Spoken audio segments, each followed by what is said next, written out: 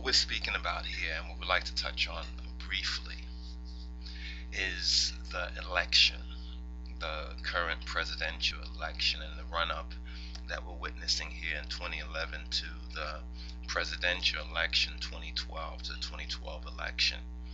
Um, the Republicans, the Democrats, y'all should be basically familiar with some of the background on this, but we would like to profile a little bit that has gone under the radar but is very relevant to this particular this particular election is let's make a slave and Willie Lynch the the spell of Willie Lynch the, the Willie Lynch uh, syndrome.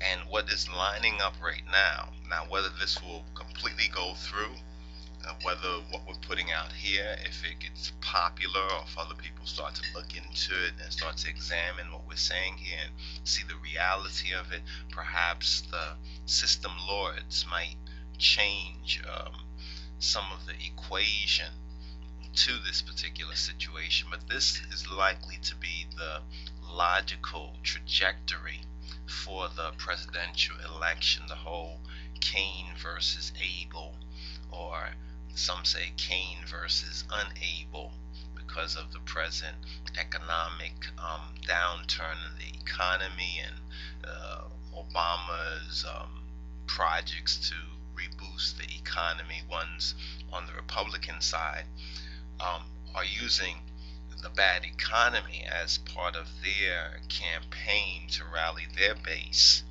because the economy has not improved and they're saying look at Obama. Obama doesn't know how to make jobs, so forth and so on. And Obama is not a uh, economic, financial president, so forth and so on. So now you have you have Cain or Herman Cain.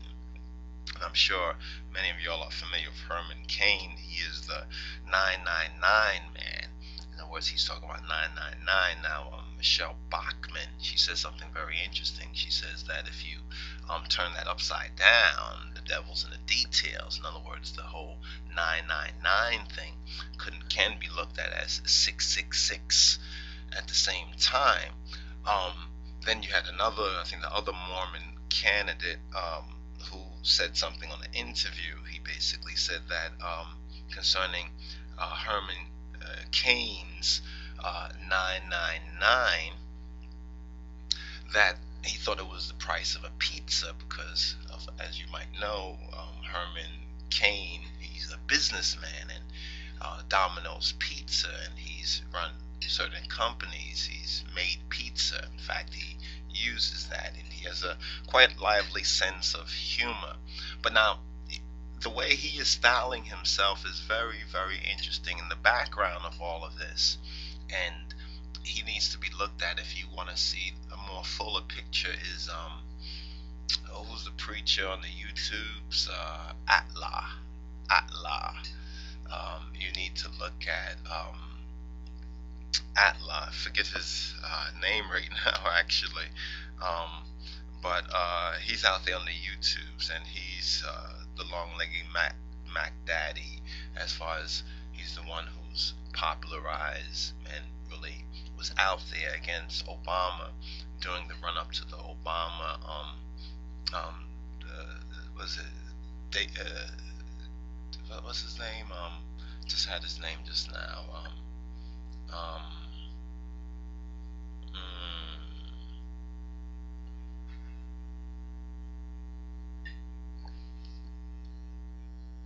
uh Manning Manning is his name James David Manning or something to that effect. Uh, Manning, and he has the um, a Christian ministry up here, uh, church up here in uh, New York City, in Harlem called ATLAH. ATLAH. So you can ATLAH Ministries, and you can go on the internet and you can see more of his videos. Some some very interesting videos. It keeps it kind of exciting because he approaches it from a whole different perspective and there's some relevance to what even ATLAH has been saying but now if there is an ideal candidate that can put into mainstream politics what ATLAH has been trying to say for the last three or so maybe even four years in the run up to the, the 2008 election.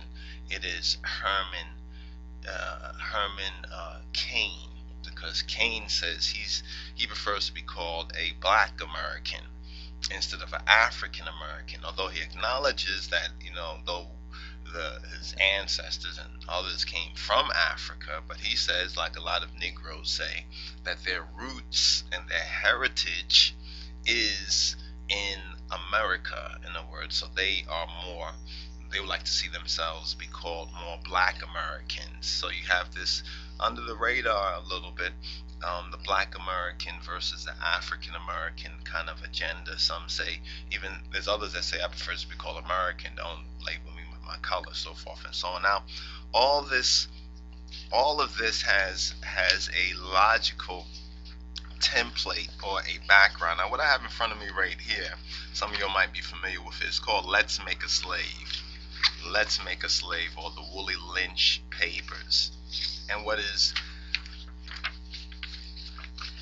what is important yet often um, suppressed is the relevancy of the Willie Lynch papers. The Willie Lynch papers is so relevant as a template and even as a scientific from a scientific perspective. If you look at sociology, if you look at the psychology and all those ologies, and if you look at Let's Make a Slave, the Willie Lynch papers, you'll see that it says creation of a multiplicity of phenomenon of illusions. Now we have a so-called black, the potential to set up a black American, a so-called real American Negro versus a kind of an international um, mulatto, so to speak. This is how the this is how many people see Obama and see the current situation. So McCain's rise now McCain is at this current time. Um, not McCain. I keep saying McCain, but that's also a part of the whole Cain and Abel the whole biblical background to it. But Herman Cain's rise, now he's the front leader. He's said to be the front leader for the Republicans as of October 2011. He's the front leader. So here, let's look at this and let's just make this first point. Our first point that we'd like to make, and we have to thank our sister wife actually for reminding us of this, because as we saw um, Herman Cain um, rise in his um, political, you know, rise in his popularity and in his political prospects for being the first so-called uh, uh, real, real, real American Negro or Black American candidate. She said something to me which is very interesting. The wisdom the wisdom of our sister wife was very interesting because she reminded me of what Willie Lynch basically says. And Willie Lynch says, um, you know, don't forget to, don't forget you must pitch the old black versus the young black male and the young black male against the old black male. So we have the potential right now leading up to the election of 2012, the presidential election for 2012, to have a perfect example of Willie Lynchism, of the spell of Willie Lynchism. The, the Willie Lynch spell is the spell that has the American Negroes and, and black people in America in a frozen psychological state because many of them refuse to even give any credibility or credence to it. They like to forget about that. Just like Herman Cain acknowledged on the Meet the Press um, political show this Sunday. He basically said that um, he prefers to be called a black American than an African American. And he went through a brief um, explanation that, well, yes, although we, although he acknowledges that, that we were brought from Africa, but our heritage and our roots are here in America. That, that does not even make any sense. That really does not. The only way that makes any sense is let's make a slave. If you understand or overstand, let's make a slave, then what Herman Cain said makes perfect sense. He acknowledges that we come from Africa or we were brought from Africa. Notice how these Negroes would talk. We were brought from Africa. You know, like somebody escorted us. Were chauffeured, uh, driven in the USS Jesus and other slave ships from Africa over here to America. But instead of calling himself an African American, he prefers to call himself a black American. And that's very significant. And he says, well, our roots as a people are and our heritage is in America. This is the aftermath.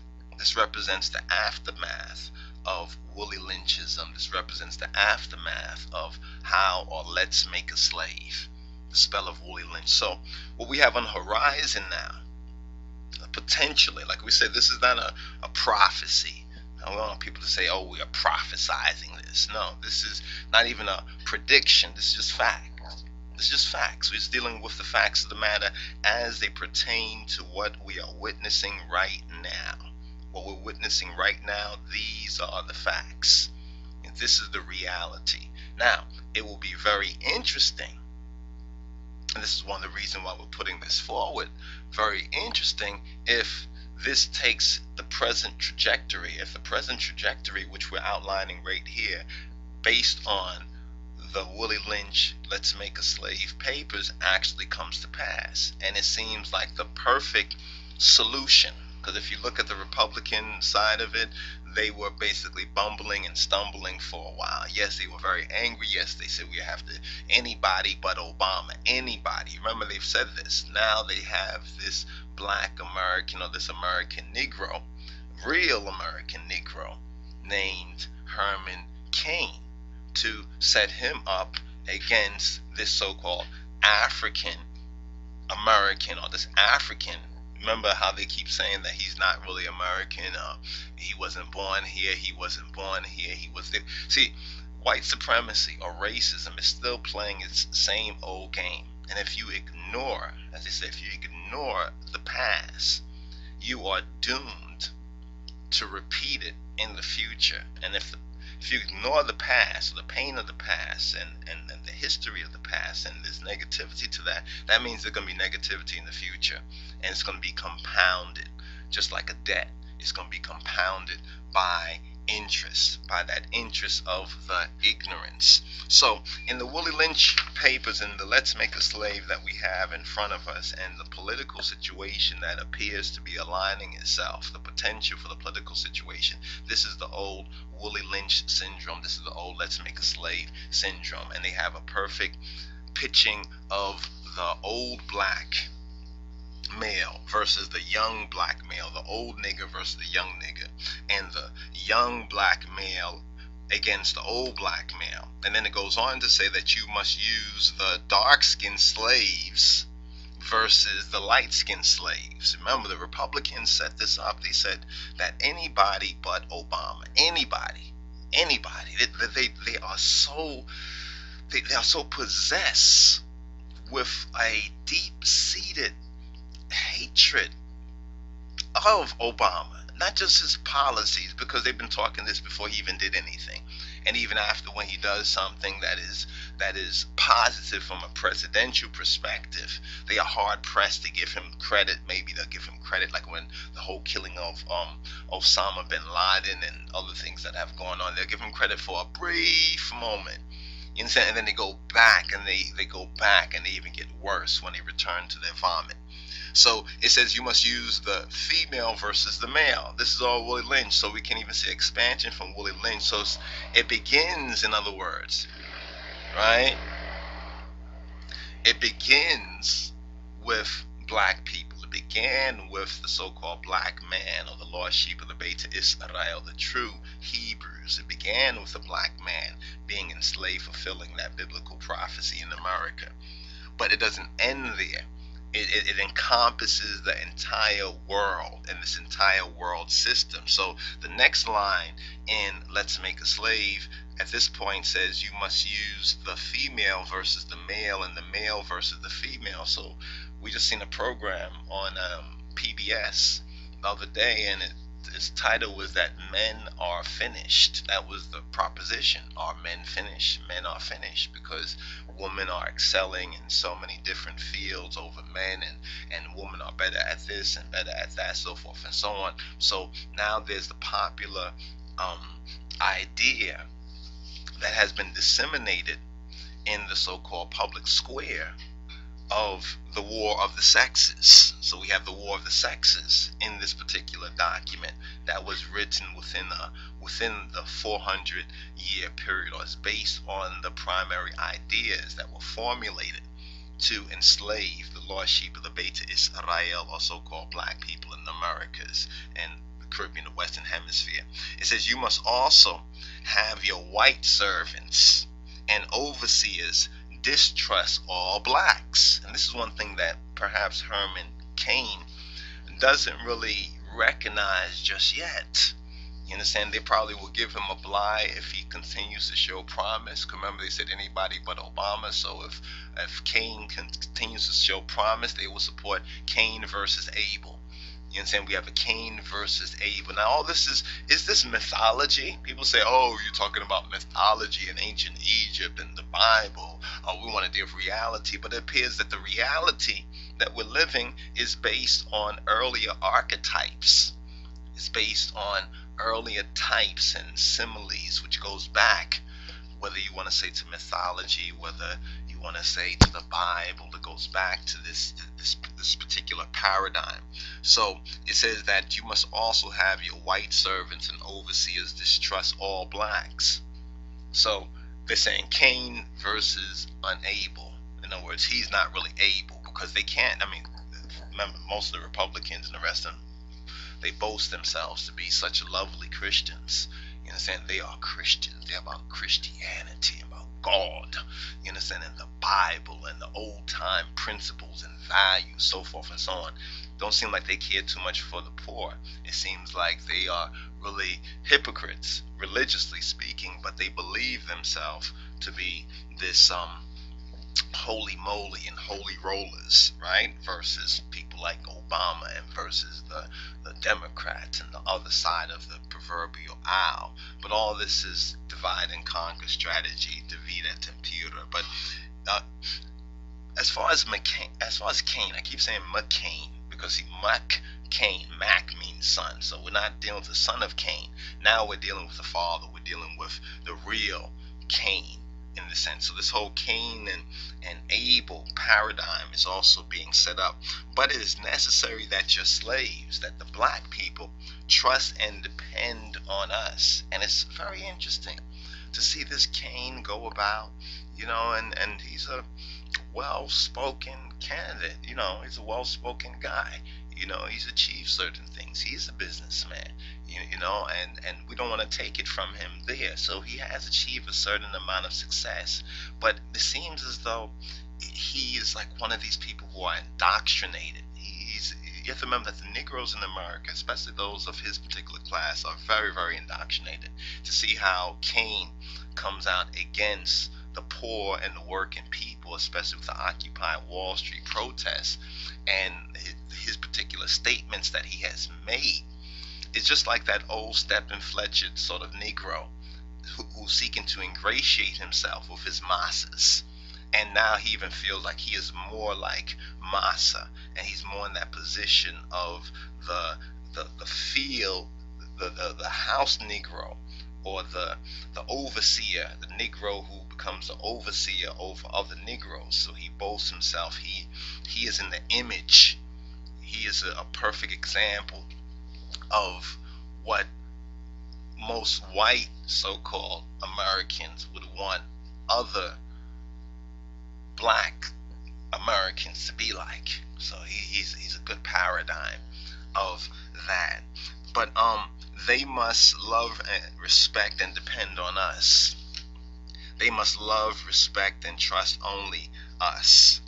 This is how this part um this first page where there's a speech which was delivered by a white slave owner whose name was William Lynch, from which we get Willie Lynch and the Willie Lynch syndrome and Willie Lynchism on, and where we get the word lynching as well. It's very important to understand. We get martyred in crucifixion of the black Messiah, which was called lynching as well. And he said these words as part of his speech that he delivered on the bank of the James River, roughly, well, it says right here, 1712. 1712. Now, also make a note that uh, the Queen of England, Queen uh, Elizabeth, Elizabeth, she came over here recently when uh, George Bush was in his second term to visit the Jamestown um, colony um, plantation to honor and commemorate the 400th year of the founding of uh, Virginia and the Jamestown, the first one of the first early um, um, colonies that came over here. Now, what, why that's important is because remember the prophecy in, in Genesis chapter 15, it concerns for 400 years. 400 years will the true Beta Israel, the lost sheep, the black Hebrews who don't, the black people, the niggas who don't know their true identity. And Cain, he emphasizes that he is not African. I think this is very much a key. He emphasizes he's not African. He acknowledges yes, we came from Africa. We was brought from Africa, which is a very strange thing. Not saying that we were brought over here as slaves. We was enslaved. We brutalized. We was dehumanized, so forth and so on. No, he knows if he says something like that, he's out of there. He's out because white America, so called, don't want to hear that. They don't want to hear that. They want Negroes like Cain to come along. You understand? And this is where we get the perfect, um, the perfect example, even here in the 21st century, of the pitching of the old black male versus the young black male, and the young black male versus the old black male, and the dark skinned slaves versus the light skinned slaves, and the and the Africans in the Americas versus the Africans on the continent, you, you, see how we can go through this paradigm, this parable, uh, outlining a multiplicity, uh, you know, of multiplicities that we're dealing with here. Willie Lynch says on the on, on, the first part, he says I've outlined a number of differences, a number of differences. So we're going to see in this campaign if Cain continues to be a front leader as he has been and as he seems to be, we're going to see a continual outlining of differences between Cain versus Obama or Cain versus Abel. And I make these differences and make them bigger. So it's about making these differences. First of all, making these differences. You understand? Cain is a real black American. And then Obama, we don't even know if he was even born in America. See, they've done that over the past three, three, four or so years. Um, so they've they're taking these differences and they're making, emphasizing them, making them bigger, making them main points, and they use you understand the fear now. Now you're going to see an emphasis on the whole problem, reaction, solution, Hegelian dialectics to utilize fear, utilize distrust, and utilize, and here's the key thing utilize envy for the control purposes. For the control purposes. So these are methods that have been worked out on the plantation. And, and when we look at these methods that first were really effectively used against the enslaved Hebrews or the black people, the lost sheep, the Beta Israel in the Americas, we can also see how these these tactics, methodologies, and techniques have also gone more global. They have also become they also used globally, and the one that uh, profits from these is the corporation. So we once again have the corporation. We have to understand that the plantation slavery and corporate America and the whole economic and, and, and Wall Street financial situation are inextricably linked together. They are bound together because Wall Street was the wall where they sold niggas like Cain who were a little bit more like Obama, if you understand. You know, Africa, his father's African. They keep emphasizing he's African. His father's African. That's the only thing. His father's African. The fact that his mother's white is the reason probably why some of the guilty white folks and others gave him a bly initially. And even some of the indoctrinated Negroes, other Negroes in America gave him a blind. But that African part, that his father's African, it rubs a lot of. You see, why does that rub a lot of white Americans, especially Republicans, the wrong way?